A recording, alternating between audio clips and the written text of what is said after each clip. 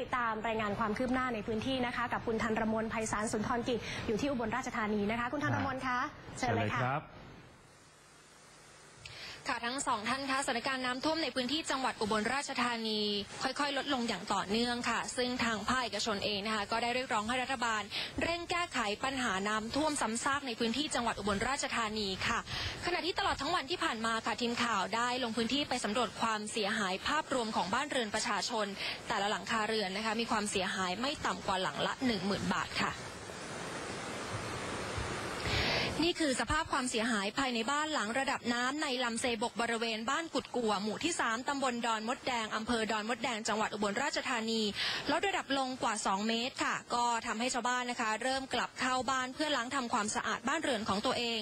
ซึ่งบ้านหลังนี้ค่ะ เป็นบ้านสองชั้นที่รับผลกระทบอย่างหนักจากปัญหาน้ำท่วมที่เกิดขึ้น แม้ว่าที่ผ่านมาเจ้าของบ้านจะเตรียมความพร้อมด้วยการนำสิ่งของมีค่าเคลื่อนย้ายไปไว้ที่ชั้นที่สองนะคะ แต่ก็ไม่สามารถนำขึ้นไปได้ทั้งหมดนะคะ เนื่องจากบ้านชั้นสองเป็นบ้านไม้ และเกรงว่าจะสุดตัวลง จึงทำได้เพียงขนย้ายสิ่งของที่มีค่าและก็จำเป็นเท่านั้นค่ะ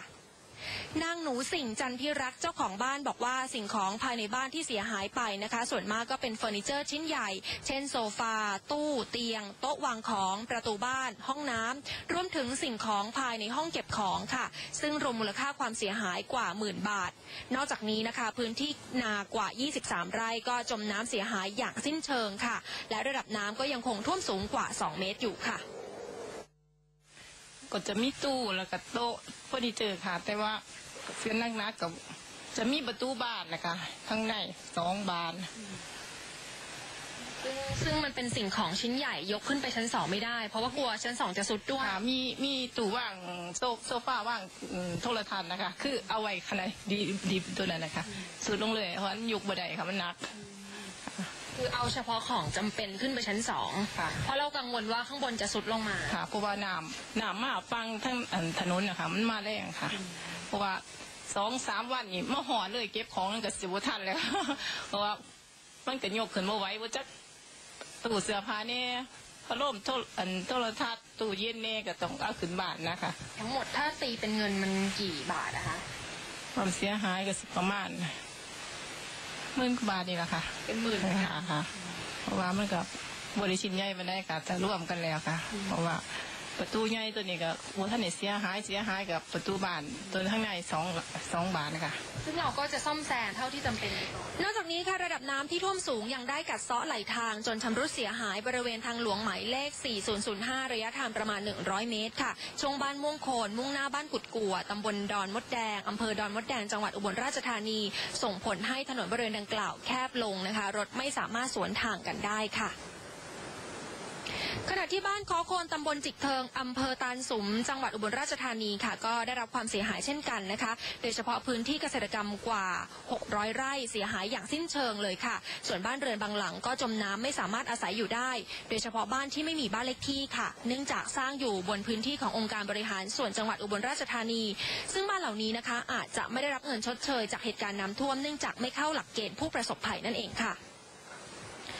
มาต่อกันที่ความเสียหายของภาคธุรกิจกันบ้างค่ะ ทีมข่าวได้ไปสำรวจผลกระทบจากน้ำท่วมที่มีต่อภาคอุตสาหกรรมในจังหวัดอุบลราชธานี พบว่าโรงงานส่วนใหญ่นะคะ ไม่ได้รับผลกระทบทางตรง เพราะมีทำเลอยู่ในพื้นที่สูงน้ำท่วมไม่ถึง โดยอุตสาหกรรมที่ได้รับผลกระทบก็คือธุรกิจบ่อดูดทรายในแม่น้ำมูลค่ะ ที่พบว่าเรือดูดทรายต่างพากันยุติการผลิต เพราะระดับน้ำนะคะ ยังคงท่วมสูง และกระแสน้ำในแม่น้ำมูลอย่างเชี่ยวกรากสำหรับธุรกิจดูดทรายในจังหวัดอุบลราชธานีค่ะ พบการขอสัมปทานจำนวน 45แห่ง มูลค่าการลงทุนกว่า 243 ล้านบาทนายสิทธิชัยโคสุรัตน์ประธานสภาอุตสาหกรรมจังหวัดอุบลราชธานียอมรับค่ะว่าน้ำท่วมในครั้งนี้กระทบต่อภาคการผลิต แม้โรงงานจะไม่ถูกน้ำท่วมนะคะ แต่บางส่วนก็ต้องลดกำลังการผลิตลง เพราะแรงงานส่วนใหญ่ต้องกลายเป็นผู้ประสบภัยนั่นเองค่ะ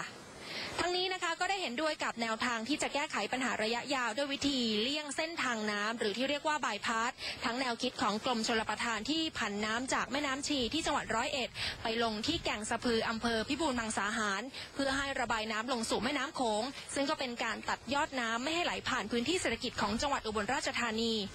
นอกจากนี้ค่ะก็ได้เสนอการสร้างถนนเลียบแม่น้ำชีให้เป็นแนวขันกั้นน้ำตั้งแต่จังหวัดนครราชสีมามายังจังหวัดอุบลราชธานีรวมระยะทางกว่า400 กิโลเมตรค่ะเนี่ยนะครับว่า น้ำที่อุบลมาแล้วก็ไป ไปแล้วก็แรงนะครับ ซึ่งไม่เกินเดือนธันวาก็แรงแหละในความคิดผมผมผมผมนี่อยากทำอยากทำคันเขื่อนอยากทำคันอยากทำคันเลาะข้ามแม่น้ำไปเลย ถ้าเรายกขึ้นมา4ีห้าเมตรนะครับ ระยะทางประมาณ400กิโลจากโคราชมานะครับ มาถึงตรงนี้ปั๊บนะครับ น้ำเข้าแก้มลิงเราเปิดประตูเข้าแก้มลิงเลยนะครับ น้ำก็ไม่ท่วมน้ำมันก็อยู่ในในลำน้ำเพราะว่ามันออกไม่ได้แล้วเพราะว่าเพราะเพราะเพราะว่าเราเราเราเรามีคันเรามีคันถนนน่ะนะครับเป็นตัวกั้นน้ำไม่ให้น้ำออกไปข้างนอกได้ แล้วเราจะให้น้ำเข้าตรงไหนเราก็ปล่อยน้ำเข้าตรงตรงตรงประตูน้ำห้ากิโลทีหนึ่งสามกิโลทีหนึ่ง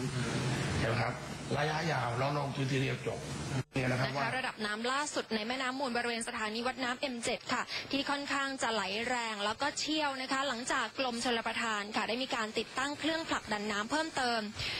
รวมหลายเครื่องนะคะ ส่งผลให้มีอัตราการระบายน้ำเร็วขึ้นกว่าเดิมกว่าร้อยละ 30 ค่ะ ทั้งหมดนี้คือภาพรวมนะคะ ที่เกิดขึ้นในพื้นที่จังหวัดอุบลราชธานี ช่วงนี้กลับไปทางสถานีค่ะ ครับขอบคุณคุณธรมนมากนะครับนี่